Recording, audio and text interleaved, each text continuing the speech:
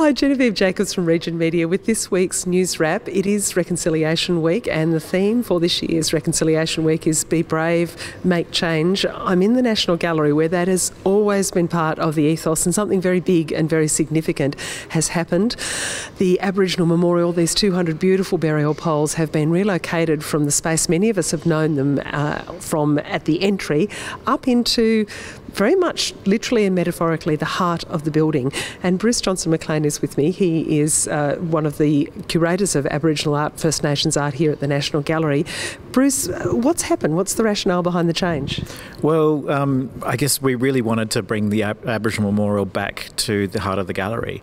Um, 10 years ago, or sorry, 12 years ago, when the Aboriginal and Torres Strait Islander Art Wing was developed, um, the memorial was, of course, taken from uh, this area and placed next to the front door, which was a really important gesture at that point in time, um, having uh, First Nations art first.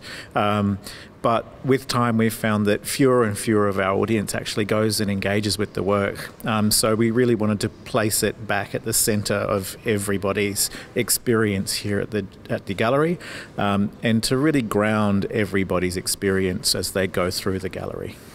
And Bruce, that, that's significant because this is in fact one of the great and major works of the National Collection, and the parallel's been made with blue poles that this is black poles. Uh, tell us a little bit about the history of this work, which goes back to a, a pioneering concept by Djon Mundine and some really inspired curatorship. Yes, well, of course, um, Djon Mundine in um, 1987 um, started working on this project and um, and socialised the idea with the artists at Ramingining, where he was then the art advisor.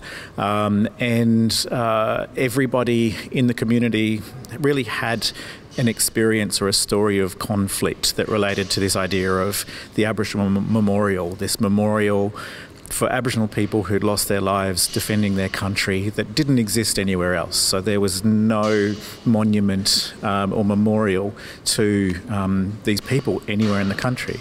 Um, so together, um, the 44 artists, including Djon, created this work um, of 200 dupun uh, or hollow log burial poles um, that stand in memorial for all of those lives lost over those 200 years between 1788 and 1988.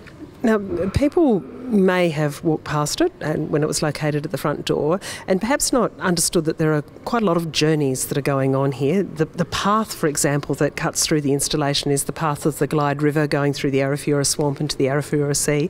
So for Yolngu people, this is a, a replication of a significant journey for them. But I'd love you to just describe what these pieces actually are.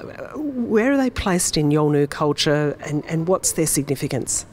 So every one of these poles has its own story to tell. Um, the installation tells of the story and is the memorial, um, but each one of these poles um, is a memorial to the artist conceptually. Um, and although it's made for an art audience, it's not a sacred object. Um, they do um, uh, come from the tradition of making hollow log burial coffins. So these works all have a really great significance, and importantly, there are many of Australia's greatest artists within this memorial. Um, we often don't talk about the individual artists, um, like you know David Malangi, whose uh, art was on the um, dollar note. Um, we don't talk about George Milpurrurru, who's an incredible artist. Um, uh, uh, Philip G'day these artists are all within this space and they're all incredible Australian artists within their own right. Bruce, it's an absolutely gorgeous installation, and we've been watching children come through, um, people wandering past and, and examining the poles at, at really close quarters. I know there was a beautiful smoking ceremony yesterday to mark the installation here, so I guess the invitation this Reconciliation Week and from now onwards is to, to come and engage and take the journey and uh, to, to wander around the course of the Glyde River of the Yolngu people. Um, it's, it's, a, it's a wonderful thing. Congratulations. And look, also making news on the site this week, we are talking about the aftermath of the election, um, changes in the APS and in departments. Uh, let the mogging begin. We also have the story of the Canberra man who has built a full sized space rocket replica in his garage and not just any rocket, if there were such a thing, it's the Colonial Viper 2 from Battlestar Galactica. Apparently, he had proposed building a full size Stargate at his front gate, and his wife drew the line at that point. Housing prices have come down for the first time in three years.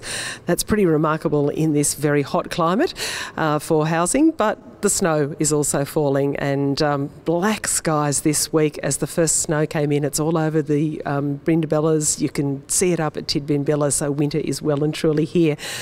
And at the RiotACT, at Region Media, we are all about the local stories. So you can sign up for our newsletter. It'll be in your inbox every week, every Thursday, or for our daily digest. And come and join the great big Canberra conversation. Learn about the background to amazing great precious treasures of the national capital like this one. Bruce, thank you so much for your time. You're very welcome. And I'm Genevieve Jacobs. This is Region Media.